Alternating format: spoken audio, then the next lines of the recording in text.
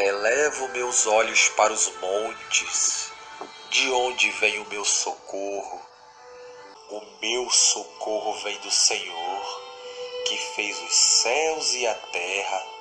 Enquanto o homem colocar impedimentos intercessores entre ele e Deus e confiar na sua força, saúde, inteligência e livros de passo a passo, certamente o que vem a seguir é mais um tombo.